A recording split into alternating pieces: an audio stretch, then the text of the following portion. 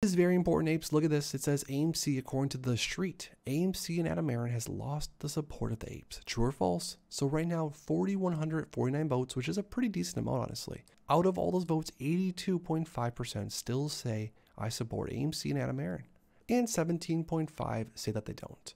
Now, this is honestly kind of surprising me. With all the FUD and everything that I've been seeing online as of recently, I would have guessed that it would probably be like 70 30, but it's really cool to see that the majority, more than the majority, honestly, support Adam Aron and AMC.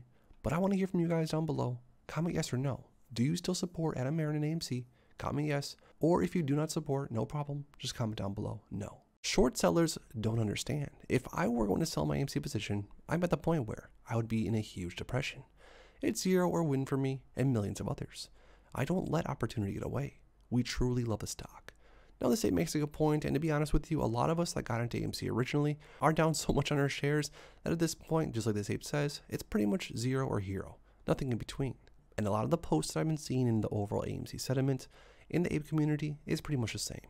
So my final question is, when are the short sellers going to understand? We have been holding and buying AMC for over two years. We have seen corruption at the highest levels, but nothing compares to what we witnessed this week. But the level of crime is unsustainable. Look at the numbers for yourself. They are building the biggest bubble and collapse Wall Street has ever seen. Why didn't they cover? Simply because they can't until we sell, and we are not selling at these prices. It's been a crazy, crazy last few weeks, and something massive could be right around the corner. This is pretty insane. It says Justice Department closes in on short sellers. Let's take a look. It says FBI agents raided the homes of prominent short sellers last year. Now criminal charges may be imminent.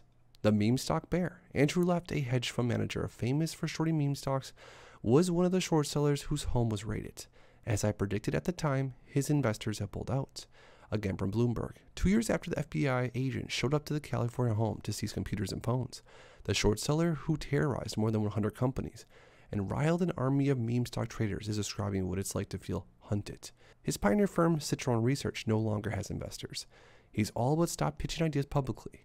He even wiped his once feared Twitter accounts. The Justice Department has not made any specific allegations against Left.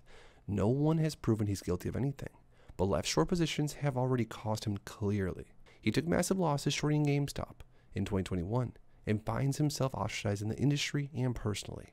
But what is the government looking for? Short sellers typically short a stock, they publish a negative article or research report, then profit when the shares fall. When the Justice Department has not said what exact wrongdoing they're looking for, they may be digging into these reports and they may be trying to build a case. How it ends, I find it hard to believe that the government will spend years investigating an industry. After all, taking on a big hedge fund manager will make a prosecutor's career.